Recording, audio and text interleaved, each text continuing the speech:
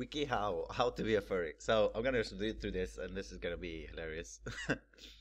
Uh, the furry fandom is a large welcoming place for people to express creativity and passion for the anthropomorphic animals. If you believe you're interested in the furry community, you have nothing to be embarrassed about. Eh, a bit.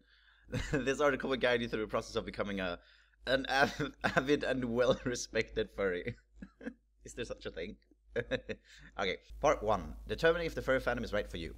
One: Know what the furry fandom is. There are many videos on YouTube explaining what the furry fandom is. An especially good one is the Furries of Anthrocon by NBC in short.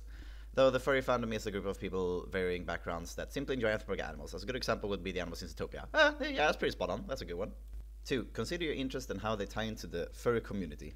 The group is centered around anthropomorphic animals, which are animals with human characteristics. If you simply enjoy the concept of werewolves, you may find your calling in this community.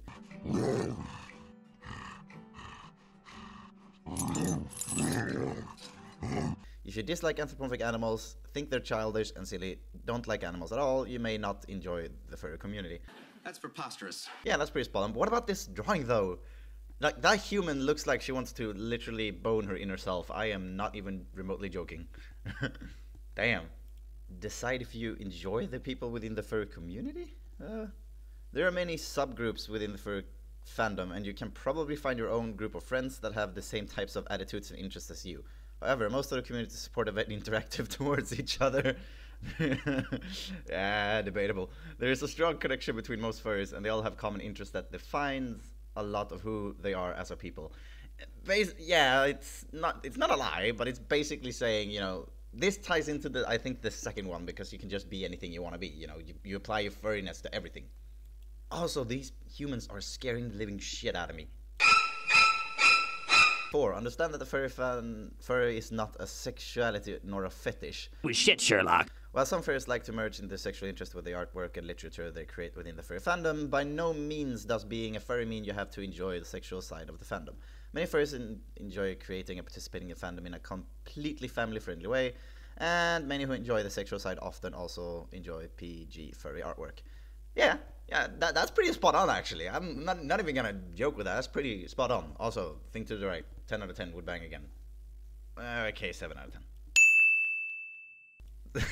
decide, decide if you want to be a furry. Number 5. If you want to create your own furry characters or enjoy wearing and role playing in usually the most innocent ways. in animal costumes like fursuits, your best bet will be to join the furry community. However, it's completely up to you if you want to join the community or not. Well, no fucking shit, Sherlock. If you don't have a strong interest in anthropomorphic animals, if you want to join the community, the people within it will likely welcome you with open arms.